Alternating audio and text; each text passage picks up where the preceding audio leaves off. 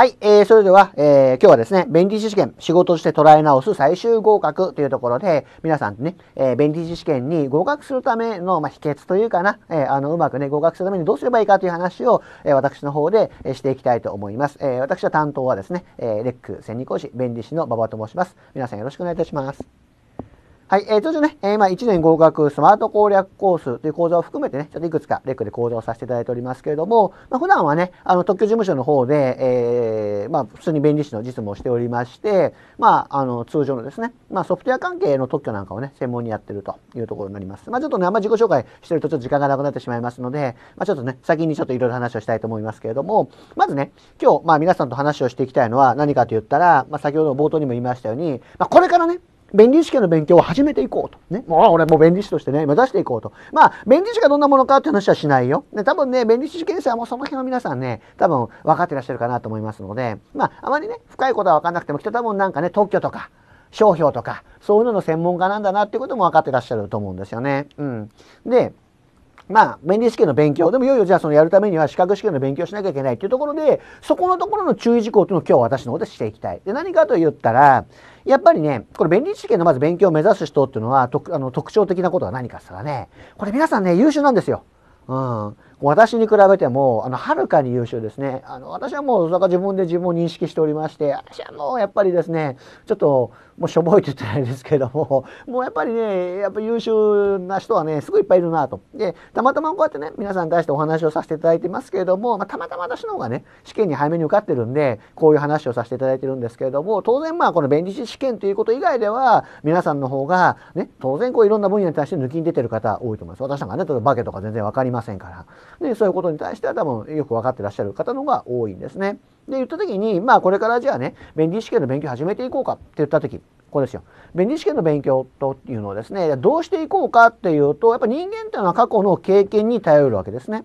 過去の経験は何かと言ったら、今までやってきた受験勉強や学校の勉強、これと同じ感覚で勉強を進めていこうとします。まさに学生時代の気持ちですよね。ということは、例えば勉強というのは考えることなんだと。ね、勉強というのはいろんなことを考えなければいけない。それから勉強というのは覚えることが重要なんだと。ね、ちゃんとあ単語カードを作って覚えなきゃとか。ね、それから勉強する方によっては100点を目指していきましょうっていうところ。こういったところをやっぱり今までの皆さんの中学、まあ、小学校から含めてね小中高校時代の経験からここを目指していきがちなんですね。ところがこれをやってしまうと弁理士試験は早めに合格することができないっていう実は事実があるというところで今日はそこをねお話しさせていただいてこのまあ動画を見終わった後にですねそうなのかと弁理士試験っていうか資格試験っていうのはそういう考えでいかなきゃいけないのだっていう形で皆さんの気持ちが変わっていただけるとね私はあの皆さんが合格にねもう一歩いや二歩いや三歩近づいたんじゃないかなと思いますね。はい。で、まずやっていただきたいことは何かというところなんですけれども、弁理士試験までの合格のスケジュールというのを考えていただきたいんです。どういうことかと言いますと、弁理試験、まあ、皆さんもご存知のように、担当、論文、口述という3つの試験からできて、まあ、できたはずがあります。3つの試験が。で、まあ、口述試験は論文試験合格された方というところですから、ちょっと口述試験は今外してますけれども、まあ、ポイントは論文試験と担当試験ということになります。なので、まあ、どういうふうに勉強していくかっていう、まずスケジューリングをしっかり立てるってことですね。まあ、講座とかで私説明をしていますけれども、まずこれが勉強する上で一番重要です。で、スケジューリングっていうことを考えると、まずね、担当と論文の勉強、すなわちこの論文試験に関しましては、まあ、この担当試験が終わった後に一気に合格レベルに引き上げるっていうことを考えていかなければいけない。どういうことかっていうと、やっぱり忙しいんですよ。担当あって論文あって。でなると、まあ、担当試験の勉強が終わりましたよということになった時に、その後論文試験までほぼ1ヶ月ちょっとです。えー、まあ、今年で言えば、えー、5月20日が担当試験でまた5月の第3週ないし第4週が担当試験の日なんですねでそれから論文試験は大体7月の第1週または第2週ということになりますから1か月ちょっとしかありません。うん、ということはこの1ヶ月ちょっとの間に担当試験終わったら論文試験の勉強に引き上げるっていうことは土台はこの5月までには作っとかなければいけないってことですね。基本的な考え方についてはもうしっかり覚えてなければいけませんよと。じゃあこの5月の担当試験から今度逆算をしていくとどうなるかというとはい。要するにここの5月ゴールデンウィークですこれ大体あの大型連休だと思ってください大型連休明けがあのほぼまあもう3週間ぐらいしかないですからここは総まとめの時期です。ってなるとちょっとまだ皆さんにとって難しいかもしれませんけれども下三法と呼ばれる勉強があるんですね。うん、でこれはあの弁理士試験の勉強というのは4法と呼ばれるものと下三法と呼ばれるものがあります。で大事なのは4法いわゆる特許法実用試案法意匠商標です。商標法ね。この4つが大事。これなぜかといったら担当も論文も口述も全部出てくるから。ところがこちらに関しては担当しか出ないっていうことを考えると勉強する開始時期というのは実はかなり後で構いません。かなり後で構わないということになります。結果的にはその4法と今言った試験に出るところをしっかりやっていかなければいけないということになりますから、まあ、そこまでをね、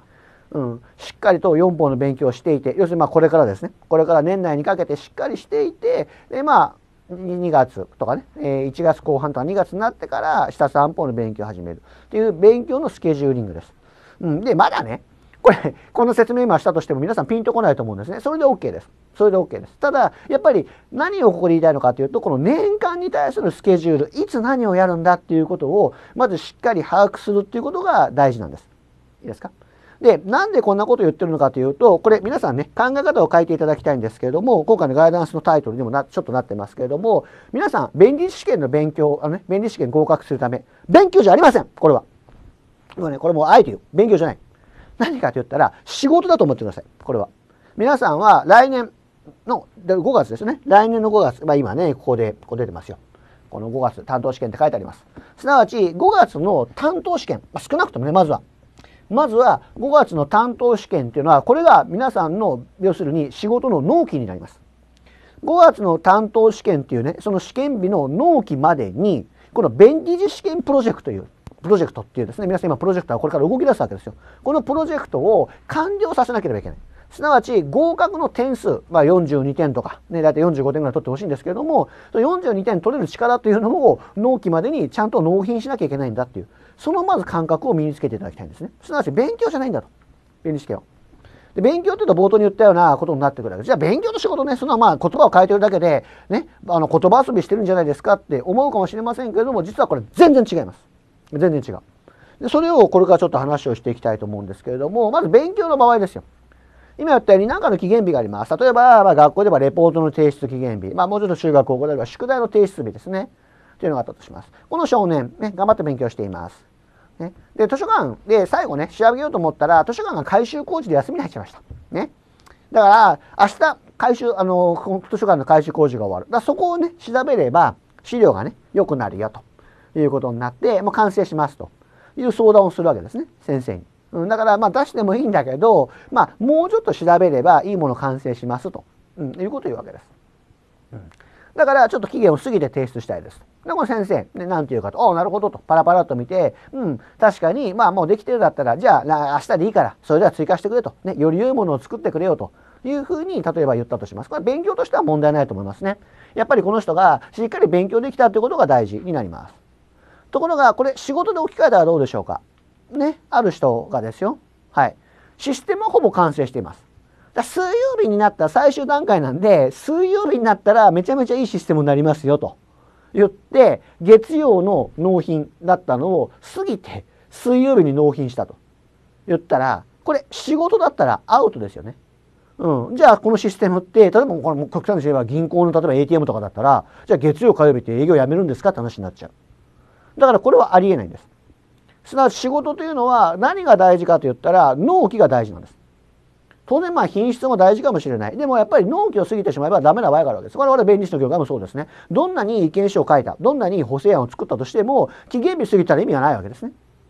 そうですね。期限日過ぎたら意味がない。だから期限日を守るってことはすごく大事な話になります。だからこれは仕事と勉強は全然違ってきますよということですね。はい。それからまたこんな場合を想定しましょうか。勉強の場合。昨日家に帰ってずっと調べました。いろいろ考えたけど分からなくてあまりできませんでした。でも本当にこの人すごい勉強したんです。すごく勉強したの調べたの。うんこの場合どんな評価かなと言ったらやっぱね考えることってすごく大事だね人間。考えることによって、ね、たとえもし出なかったとしてもそれ考えた行為は無駄じゃないわけですよ。すなわち勉強というのは努力を評価してくれるんです。ところが仕事として考えた場合はどうですかと言ったらいろいろ時間をかけて調べました。徹夜で頑張りました。8割動きますと。でも動かない部分出ちゃいましたって言ったらどうなりますかと言ったらそれやっぱり2割動かないんでしょ、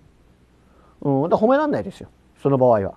だってどんなにこの人が努力しようが何しようがそこは関係ないわけですよね。うん、皆さんだってそれだってそうでしょ。何かものをお願いしたと。すごく努力しました。頑張りました。でもねあの完璧じゃないです。やっぱ困りますよね。そういうことですよ。だから要するに仕事というのはやっぱり結果物が大事であってでそれはあのなんですかね努力だからいいよとか悪いよって話じゃないわけ。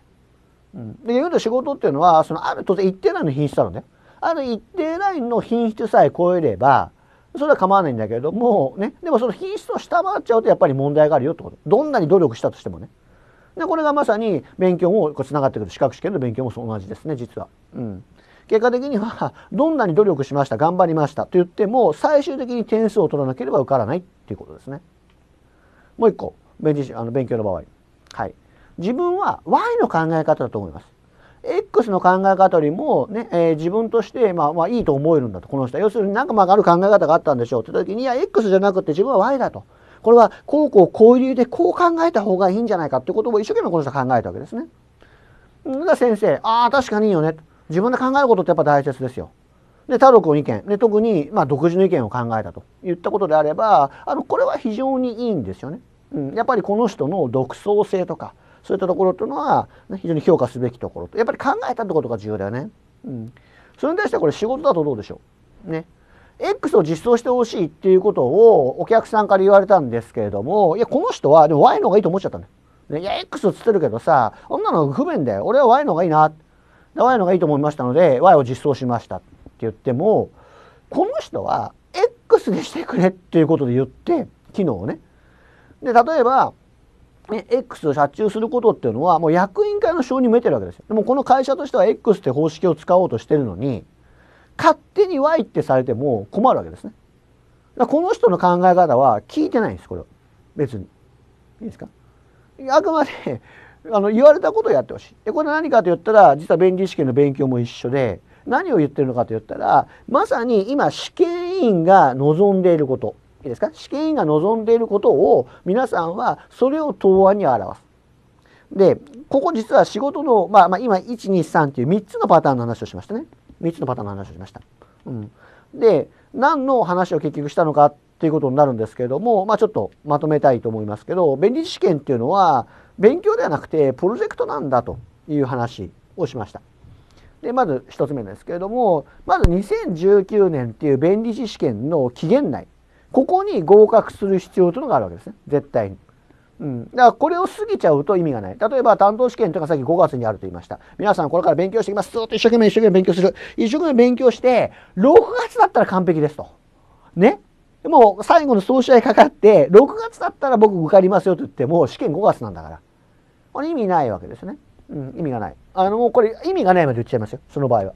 でやっぱりその期限内、ね、期間内決められた定められたある程度の範囲内に合格レベルまで持っていかなきゃいけないっていうところがまずはすごく大事です。はい、それから次これがま勉強としてはよく間違えるんですけれども合格点を取れば合格するんです資格試験というのは。なので満点を取る必要はないんですこれは。満点なんか取らなくていい。ね。ちゃんと合格点あるラインをクリアすれば 試験というのは受かる。だそこを狙っていきましょうよ。で結局はどういうことかしたら10個覚えました10個勉強しました10個全部覚える必要はないかもしれないってことそのうち7個覚えとけば合格できるんであれば7個覚えりゃいいわけですよ3個覚える必要ないところが皆さんはこれ覚えようとしちゃうんですね。なぜかさずっと小さい頃からテストは満点取りなさい満点取りなさいと勉強したことは絶対間違えちゃダメよ一回やったことを覚えなきゃダメよって言われてきた結果なんですよ。人間だもの まあ、ね、なんか誰かのセリフみたいになっちゃいますけども間違えてまず当たり前なのね。うん、でよく私言うんですけども間違えられる特権ってこれ受験生の皆さんしかないのよ。これ。弁理士になったら間違えられないもん。恥ずかしいからね。だから間違えていい特権っていうのは今皆さんがお持ちなんですよ。これから勉強始めていく皆さんたちが。それをフル活用してほしい。いいじゃないですか。どんどん間違えてほしい。で間違えることで勉強する。で最終的に勉強してることに関してねそのまあ仕事で捉えてる弁理士の内容に関して試験の内容に関しては全部なんか抑える必要はないあくまで合格点を取るラインそこをしっかり押さえてほしいということですねはいそれからねこれこれもまあこれちょっとね今回のテーマとも違うかもしれませんけれどもちょっと言っておきたいんですがこれねカレーのまあカレーの法則ってかちょっとあれなんですけども何かと言ったらさ、まあ、カレーでも鍋でも何でもいいんですがどんどんどんどん物を入れるでしょ？でどんどんどんどん物を入れるとどんどん増えていく、まあ、増えていくんですけれどもそれって永久かつたら永久じゃないんでね。どういうことかっていうとこれ当然蒸発する量ってのがあるわけだよ。だから煮入れるものもあればこう水分ね飛んじゃうものもあるからこれ入れる量よりが飛ぶ量のが多ければね。7番なんていうのは最初の頃はよもうもうもうみんなでいろんな料理入れるから。だんだん箸がねこう進まなくなると、まあ、入れなくなるじゃないそしたらさ今度はねブツブツと沸騰してるとこう蒸発するのが多くなってきて鍋のタレなくなってっちゃうよね。うん、でまさにそうこれ覚えるように限界があるっていうのはこれ人間って皆さんってよくねこうインプットだけを考えるわけよ、ね、毎日これを勉強しようこれをやろうこれをやんなきゃって考えるんですけれども忘れる量もあるんだよ。でここの計算を実はしてない人がいて例えばさっき言ったように10個、まあ、極端しね10個の項目を毎日覚えれば10日間で100個覚えられるって思うかもしれませんけれどもこの人10個覚えたら何個か忘れてるわけよ。まあ普通の人だったら10個覚えたら1日目って結構忘れないから、ね、8個覚えてるかもしれない2個しか忘れない。ところが2日目と言ったら10個覚えたらねまた新たに10個覚えたらで次ってあのまた2個忘れるんじゃなくて1日目の2個をまたさらに忘れちゃうわけよ。だからこの人2日目は4個忘れちゃうんだよ。という形で実はどんどんどんどん累積的に忘れる量って増えてきますよ。やっぱりこうインプットすればするほど。だそういった意味ではこのやっぱりね忘れる量っていうのがあるんだっていうことは意識しなきゃいけない。でど結局どういうことかって言ったらね何を言いたいのかっていうとあんまり細かいことを捉えてもしょうがないってこと勉強していて。すごい細かい枝葉に時々気にされる人がいるんですけどそこじゃないよってこと。もっと本質のポイントねポイントをズバリとついた勉強した方がいいですよっていうのが3つ目ですね。はい。それからこれここですよこれも忘れる方いるんですけど今は時間がないんですよ皆さん学生時代は気楽だったでしょ？ね家に帰ったらさもうご飯があってねで勉強さえしてれば怒らんないわけですよ。ね洗濯だって気が付いたらしてくれてるわけですよね何者かが。そんな状況でしょもうね家の中の何者かがやってくれてるまあねあの親御さんがやってくれてるわけですよ。でそれが今ないわけで自分は自分のことやらなきゃいけないましてやね逆に言えばね他の人のこともやらなきゃいけないわけだよ。ね、買い物連れてけって言われるかもしれない。ね、料理も作んなきゃいけない洗濯もしなきゃいけない、ね、昔に比べたら全然時間がないんです。にもかかわらず皆さんの中学とか高校と同じ勉強の仕方をしたとしてもそれはダメということになります。すなわち以前と違った勉強テクニックっていうのがかなり必要なんだということになります。では以前と違った勉強テクニックっていうのは一体何なんだという話なんですよね。はい。でまずはポイント1つ目ですね。いくつかポイント絞っていきますけれどもボーン。覚えることを少なくすることが必要です。うん、よくねまあ私もそう。私も実はあの暗記がすごくまあ 私はっていうと、ね、私もとか私はってまあちょっとね皆さんと一緒っていうとね怒る人いるいるでしょうね「お一緒にするなよ」と「俺はそんなことないよ」って言って申し訳ないです。でもあの すいませんけども私はあの昔から覚えるの苦手なんですよ。うん。で覚えることを、まあ、苦手な人はどうすればいいかってね今更も覚えることね記憶量が上げるわけにもいかないからこれ覚えることを少なくすればいいわけですよ。うん、なんで覚えることを少なくするっていうことで、まあ、イメージ教育っていう、まあ、何かの、まあ、イメージからいろんな条文とか言葉をつなげていけばいいと。ここに書いてありますように一つの知識から複数の知識を導き出すコア学習。ね、例えばまあまあまだね勉強してないからねパッと思いつかないかもしれませんけれどもね皆さんね。例えばよく私言うのは専用実試験と移転と放棄。でこれって、まあ、規定3つあるんですけどこれ根本的な考え方同じなんですよ。だからこの移転と専用実試験と放棄って項目は実は1個覚えれば残り3つに使える残り2つかに使えるんです。で1個の知識が3倍になるの。お得でしょ、うん、そういうこと。ということはやっぱりまず大事なのはそのコアな学習というのをしっかり押さえていくっていうところがすごく大事ね。うん、このポイントとなるところをしっかり押さえる。でさらに大きな流れから細かい知識を組み立てる私はそうだね細かいのが好きではないのでやっぱ大きい流れまずは制度のそれを分かっておけばやっぱりねある制度とある制度の隙間が抜けたとしてもね両方の制度が分かってるからなんとなくね補えるんですよ。だそういった意味でねやっぱり覚えることっていうのを一つでも減らしていくこれはもう単純に自分のあの必要に応じてあのやってることなんですよ。うん、やっぱりねまあ、よくねこの業界この業界でもないんですけれども必要は発明の母ってねこれ昔からよく言う話があってまあ発明が生まれるってことは必要性があるから生まれるんだということなんですよ。で例えば自分があの、まあ、ずっとコンピューターのね、分野を、まあ、やってるわけなんですよ。で、今、まあ、事務所でやって、実はあの弁理士になる前っていうのはね、あのずっとまあ、学習塾、ね、あの講師をやってたんですね。もともとそうなんですよ。もともと教えるのが仕事で。で、学習塾で講師やっていて、で、まあ、ちょっとね、コンピューターが好きだったから、コンピューターの、えっ、ー、と、ちょっと仕事をしようかなと思った時に、まあ、ちょっとコンピューター業界は辛いのしてたので、まあ、その、それ以外というところでちょっと弁理士を目指したと。まあ、またちょっとね、あの、講座の中で話をしますけれども、そういった意味では、あの、あんまりね、実は、その自分は、あの、あんまりじゃないな。コンピューターが、まあ、すごく好きでずっとやってきたわけです。で、なんでもともとコンピューターをやるようになったかって言ったら、多分考えると、キーボードですよね。キーボード。今のパソコンのキーボードね。キーボードがやっぱり打てたというのが大きなところだったんですよ。キーボードパチパチパチパチね。結構もう、本当私の、もう本当子供の頃ですけど、子供の頃ってブラインドタッチが珍しいって言われる時代ですから。ね、キーボード見ないで売ってるってすごいよねっていう時代だったんね、そうそう今なんか皆さんそうだけどね。でその当時私それもできていてなんでそれができたかって言ったらワープロを使ってたんですよ当時。ワープロ。あまあでも子供の頃だから使うこともないんだけどワープロ打ってたの。なんでワープロ打つようになったのかっていうと字が汚いんです私。字が汚い。自分の字が汚いんであ汚い字書かなくて済むじゃん。っていうところから実はワープロを始めたっていうことなんですね。まあ一番のスタートは。って考えると遡っていくと実は自分が字が汚いからこそワープロをやり出すようになりキーボードが使えるようになりコンピューターが使えそして今の仕事につながってるわけです。うん、だ結構ねあのそこっていうのは非常にこのなんですかね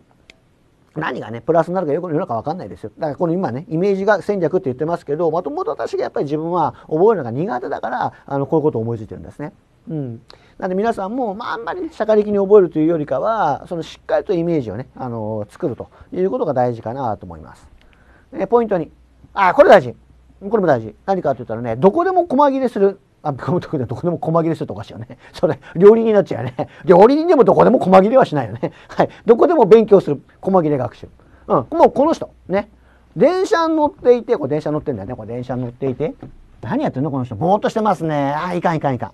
もうこの時でも勉強する。あのね、もう皆さんは大人なんだから、大人だと机に向かってね、長時間勉強するなんてできないですよ。学生の時みたいに。そんな恵まれた環境の方はなかなかいらっしゃらない。じゃあいつやるか。今じゃないよ。いつやるか。もう空いてるスペースですよ。例えば電車の移動中、こういったところを勉強スペースにしてしまう。うん。ね、例えば、まあちょっとね、今日は講義の話はしませんけれども、自分の例えばスマート攻略コースなんかであれば、スマートフォンで講義見れるわけよ。だったら、移動中時間があればね、そこで講座を見ればいいじゃない。ね、いや僕は自動車でね、自動車通勤ですから、音声だけ出せばいいじゃない。ね、いろんなことがあるんですよ。ね、皆さん見終わって、ね、まあどこで見てるか分かりませんけど、じゃあちょっとどっか出かけようかなって言った時に、まあ外出ました、マンションからね。あ、エレベーターボタンピッと押しましたよ。エレベーター来るかなダメダメダメダメ。その時でも、ね、法文集ってね、まあ、要するにあるんですけど、テキストか、テキストをパッと見るぐらい。本当にそういう細かい時間をちょこちょこちょこちょこちょこちょこちょこちょこ集めていくわけ。それによって大きな勉強時間を作っていくっていうところが、実は資格試験の勉強ではものすごく大事。これは。ものすごく大事ということになります。それからポイント3番目。はい、ドーン。ああ、これ大事大事。まあみんな大事なんだけどね。早めに適用する。やっぱりさ、敵を知らないと攻撃ができないですよ。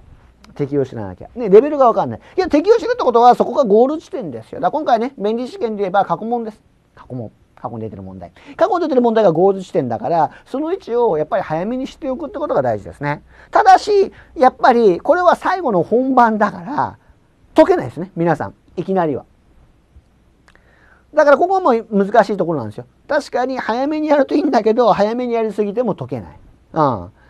さらに何がわかるかとここですよ。試験に出る重要なところを先に学習することで効率化が図っていく。どういうことかといったら、もうその、まあ、書いてある通りなんですけれども、試験に出るとこと出ないところを明確に色分けをするってことが大事です。で特に私なんかは自分の講座っていうのはもうもうこれは極端ですね。試験出るところはがっつりですよ。出ないところはあっさり。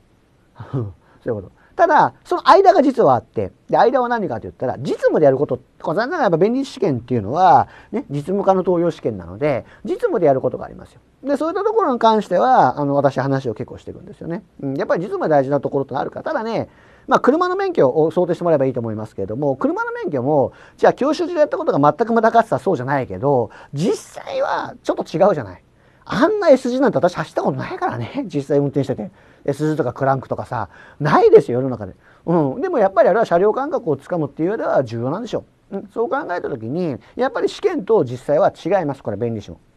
それは私がずっと普段仕事ねやっぱ事務所でやってるし、ね、面接審査とかも行きますよ、ね、審査官と「あこんなこと言われた」って言ったら講義の中でよく私話をするんですよね、うん、例えばお客さんからも、ね、侵害の相談とか受けたりしますよ。あこういうことあるよねっていうことでね、まあ、当然守秘義務に反しない範囲ですけど、まあ、話をしてます。でそういうことによって特にやっぱり経験がない方に関してはよりね弁理士を身近に感じてほしいと。で自分自身も、まあ、さっきちょろっと言いましたけれどももともと弁理士試験をする前というのはね弁理士になる前というのは学習塾でずっと講義をやっていました。で、まあ、その後実はレックで情報処理試験を教えてたんですよ。これ情報処理試験をね。ということで弁理士と全然関係ない知的財産と全然関係ないものになったの。その中でねやっぱり自分もいろんなこう講義を来てる時に出てる時に実務の話をしてくれる先生がいらっしゃるんですよ時々。やっぱすごいモチベーションが上がるんだよね。あこういうことやるのか。こういうこと自分は仕事でやるのかって。やっぱり私は自分がそれでいいなと思ってたからそれを皆さんに実践してるという、うん、やっぱそういうことだよね、うん、なんであのそういった意味ではただそれはそれでプラスアルファの話なんでやっぱすごく大事なのはこっち。試験に出るところ。うんでこれはよく私の、まあ、自分のあの受講生さんっていうかね生徒さんに本当によく言われるのが「いや馬場先生の講義って本当に極端ですよね」っていうのはよく言われるんですよね。本当に出るとこと出ないとこで明確に切り分けてますよねっていう、うんもうそうですね。だもう私は弁理試験というのは勉強だと思ってない仕事ですから。うん、だからあのこれをどうどうどう考えるとか学説がなんだっていうのは一切私気にしないですね。それは受かった後にやりゃいい。今は試験に受かることを考えてほしいっていうそういうことですね。うんなんであの試験に受かる、あのまあ、またこれもね講義で言いますけれども試験に受かるためであればあの正解じゃないことも教えます。いいんですそれで。間違えとは言わないけど、うん、あそういうこともあるんです、うん。やっぱりそれは点数を取るって感覚が非常に重要なんですね。はい、でポイント4ああこれこれもちょっとさっき言ったかもしれませんけど忘れることを前提に勉強してほしいっていう。やっぱここなんだよね。うん、で皆さんは結構ショック受けるわけよ。ああ忘れちゃったとも何回もやっても覚えられない年かなとか言うわけよ。そんなことはなくて人間忘れて当たり前ですから。ね。だからもう忘れることを前提に勉強してほしい。ということはじゃあどうするのって言ったら大切なことを何回も何回も繰り返してるってことがすごく大事。ということは繰り返し測るってやるっていうことは分かります？何回もやんなきゃいけないから。あんまりいろんなことできない。いいんですよ。いろんなことやんなくて。うん、その代わり、ね、これだけやるぞよく私ね、あの、これだけこれだけってことが多いんですけど、これだけやるぞって決めたら、そこは完璧にやればいいの。手を広げることはない。うん。でその方が勉強もしやすいしね、幅が狭いから。うん、ということになります。で、実際勉強しておくときも、ここに書いてある軽い復習を繰り返すことによって、記憶を定着する。で、よくね、覚えられないんですっていう方、何回やったの？って聞くと、ね、2回やりました。2回間違えました。ね、2回間違えた。前回間違えた。今回間違えた。ああ、そうなんだって。もう一回間違えたらもう忘れないと思ってんだねってね、わざと意地悪に聞くんですけど、そういうことよ。いいじゃないですか。2回間違えたと3回間違えたって、4回目に正解すれば。いや、4回間違えたいいよ、5回目に正解すれば。いいんです。何回やってもいいの。うん、そういった意味での、やっぱりこう繰り返しね、やるということがすごく大事ということになります。そしてさらにポイント5ですね。これ、わからないことを理解するっていうことが試験に合格するっていうことじゃないですよと。うんちょっと矛盾してるようにこれ聞こえるかもしれませんけれども、これ実はもう何回か言ってきましたけども、仕事として捉えるってことはすごく大事で、あのね、確かに分からないことを理解することはとても大切ですし、これを否定するつもりはないんですけれども、ただ、それはあくまで試験に合格するという目的を忘れないということが大事なんです。いいですか？さっきまあちょろっとね、暗記に頼らないですよっていうことを言いました。で、それはやっぱり理解をしていくとか、趣旨から考えるということもあるんですけれども、さあそれっていうのはね、片方じゃダメで両輪であって、もう一個は試験対策って側面も必要。で、試験対策って側面は何かと言ったら、試験に出るところを、やっぱり淡々と勉強していくってことが大事なんですね。うん、だから分からないことを理解すると言っても例えばある程度調べて分かんないんだったらもうそこを突き詰める必要はないんですよ試験に出ないのであれば。この感覚が実は皆さんあなんですかね、弁理士受験生ってやっぱりね、そもそもやっぱ弁理士さになろうっていう人は、結構ね、知の探求が大きい人なのよ。うん。本当に逆逆にあの、そうじゃないと弁理士になって成功しないからね。だから、やっぱりこう分かんないことはとことん調べたいとか、そういう気持ちを持ってる方が非常に多いです。で、それはお仕事であったりとか、ね、普段の弁理士の実務であればよろしいかもしれませんけれども、試験の勉強で考えちゃうとナンセンスですね。うん。それを詰める必要がない。試験に合格するっていうことで考えれば。例えば、条文を見て分かりません。あとはまあね、何かを見て、テキスト見て分かりません。ね、何かを見ても分かりま、解説見ても分かりませんって言ったら、もうそれはそういうもんだっていう形で理解をするってことも一つの作戦なんですね。うん。ね、さっきまあちょっと自動車のね、免許だ、あの、ちょっと言いましたけれども、自動車のね、免許だっていろいろありますよ。例えば法定速度ね、あの法定速度は一般道では60です。高速道路100です。なぜ60なんですかなんて考えないでしょそういうもんだから。じゃあその60キロって道路交通法もしくは道路交通施行令施行規則分かりませんけどどこに規定されてるかなんか調べないでしょってこと。根拠どこですかなんて。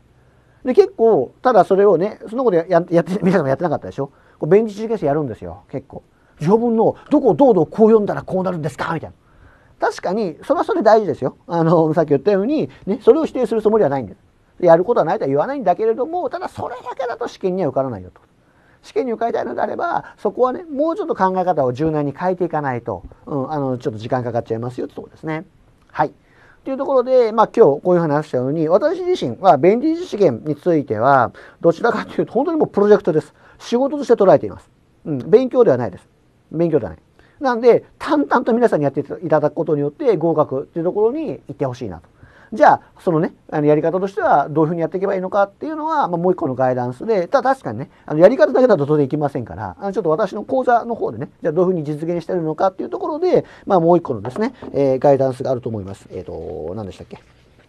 あ通信専用コースの隙間1時間を効率活用というのがあると思いますので、じゃあそちらで今を踏まえてね、今の勉強の話を踏まえて、じゃあどうやってね、うん、効率よく合格するべきか、ね、合格する勉強をしていくのかってところをちょっと話をさせていただきたいと思います。はい。では今回、えー、便利試験、仕事として捉え直す最終合格については、まずこれで終わりにしたいと思います。皆さんどうもお疲れ様でした。